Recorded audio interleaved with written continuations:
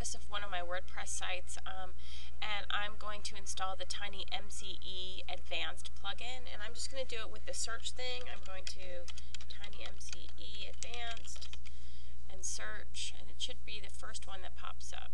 Here it is right here and then all you have to do is install now. Are you sure we want to install?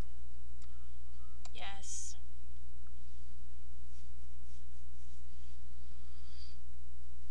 It's installing, installing.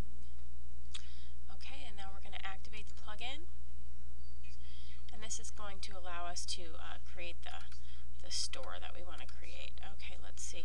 I just went over under settings and clicked the TinyMCE Advanced so I can show you how to um, add the, uh, the table. Now this is what what this plugin does is it adds functionality to your text editor when you are getting ready to create a post. And what we're going to want to use is the table. And if you could see it over here, it says table right here, but it's this one. Just pick it up and drag it right here.